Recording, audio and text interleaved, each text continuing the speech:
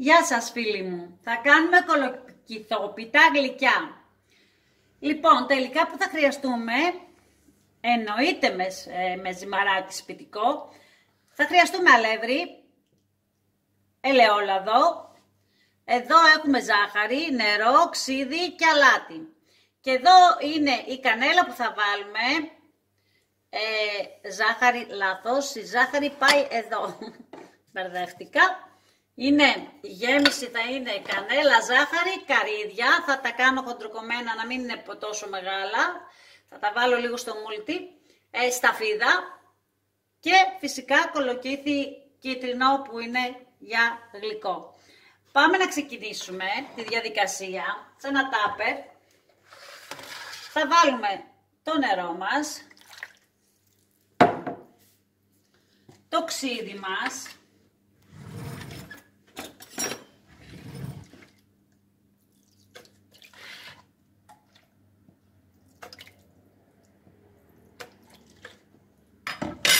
Λοιπόν, το αλάτι.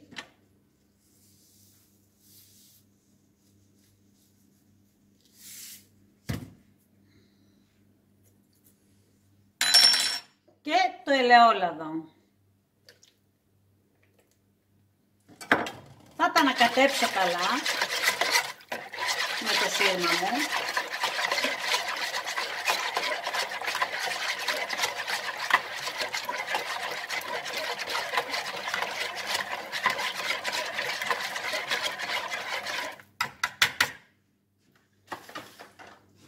Και θα βάλω το αλεύρι. Θα αρχίσω το ζύμωμα.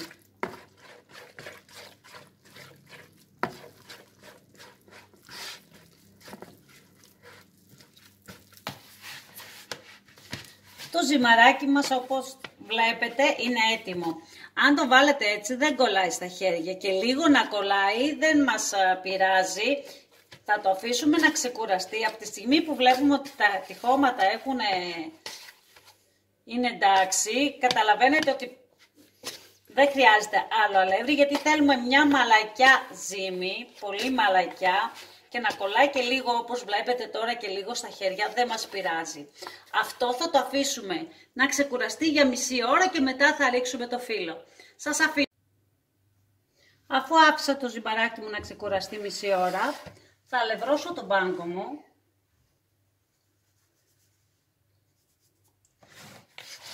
θα το βγάλω και θα...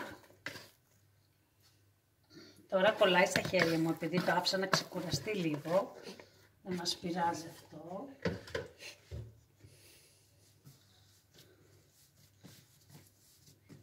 Θα το ξεφουσκώσω και θα κάνω 8 μπαλάκια. 8 φύλλα στην ουσία θα κάνω. Για να πάρω τη σπάτουλα μου. Ένα, δύο.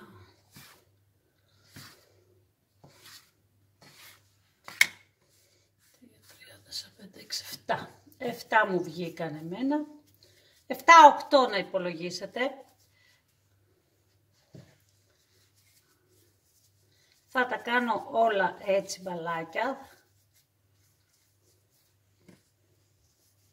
Τώρα μερικά έχουν βγει λίγο παραπάνω. Θα τα κάνω όλα μπαλάκια, θα τα αφήσω ένα τέταρτο να ξεκουραστεί μέχρι να τρίψω το, το κολοκύθι. Θα επανέλθω σε λίγο. Λοιπόν, έχω τρίψει και το κολοκύθι με το τρίφτη αυτό στις μεγάλες τρύπες. Θα το τρίψετε και ένα ακόμα Έχω βάλει εδώ σπορέλαιο, το οποίο έλειωσα βούτυρο φυτικό. Τα ανακατεύω καλά.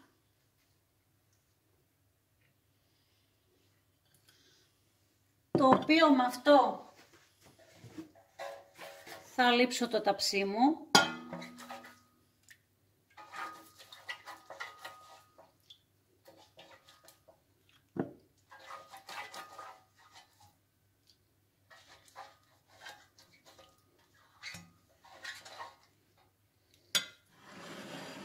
Αφήσω στην ακρούλα και πάμε να ανοίξουμε τα φύλλα. Βασικά να βάλω στο μπολ εδώ το κολοκύθι μου.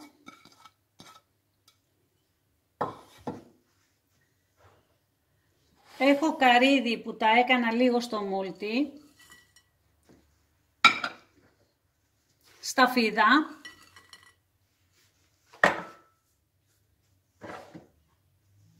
Ζάχαρη, μία κούπα θα χρειαστεί. Τώρα εγώ έβαλα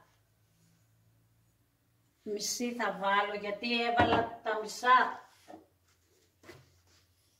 Θα σας τα γράψω αναλυτικά, μη στεναχωριέστε κανέλα,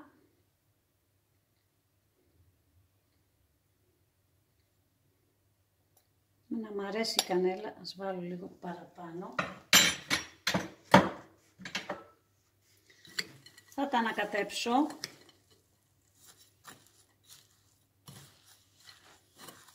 Μπορείτε, υπάρχει και άλλη μια επιλογή, πόσο έχετε ανοιχτό το φύλλο, να βάζετε ε, το τριμμένο το κολοκύθι, ζάχαρη, κανέλα, τα καρύδια αυτά και να το τυλίγετε. Εγώ τώρα δεν μ' αρέσει έτσι.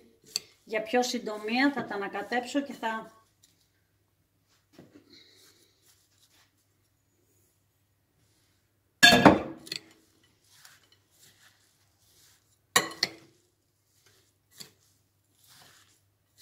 Λοιπόν,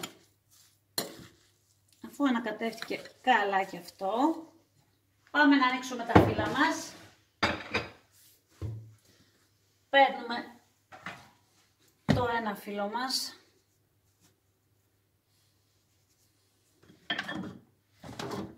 Θα σας δείξω ένα φύλλο και μετά θα, θα κάνω μόνη μου.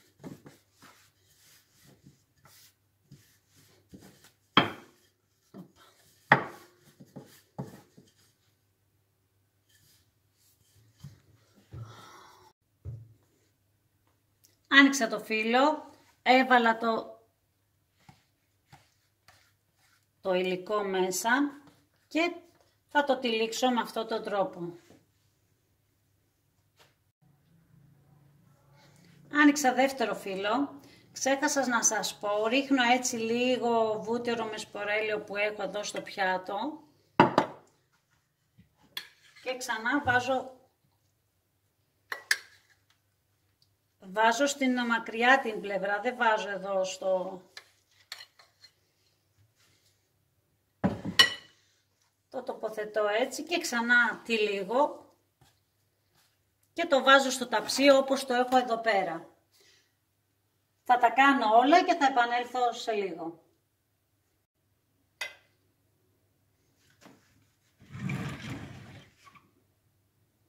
Είναι έτοιμα τα ρολάκια μας θα τα λείψω με αυτό που είχα βάλει σπορέλαιο με βούτυρο που το είχα λιώσει. Στο, εγώ το έλειωσα το βούτυρο ε, στο φούρνο μικροκυμάτων και έβαλα και το σπορέλαιο, ανακάτεψα και είναι έτοιμο. Αυτή τη διαδικασία έκανα.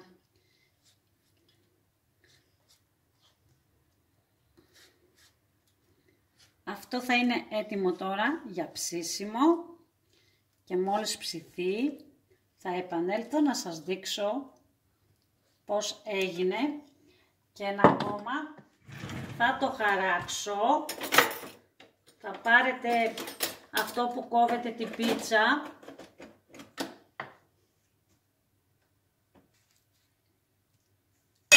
Λοιπόν με αυτό που κόβουμε την πίτσα θα κόψω εγώ για να είναι ατομικά τα κομμάτια δεν το πάω μέχρι κάτω, ίσα ίσα να φέρνονται τα κομμάτια. Λοιπόν, αυτό είναι. Πάει για ψήσιμο και θα επανέλθω μόλις ψηθεί.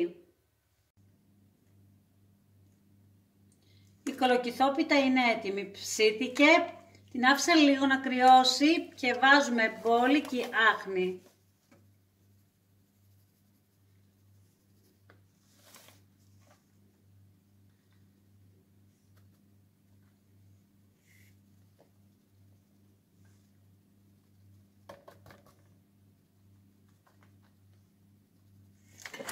Είναι το βίντεο για σήμερα. Μπορούμε να βάλουμε εξίσου και του πάει η κανέλα από πάνω.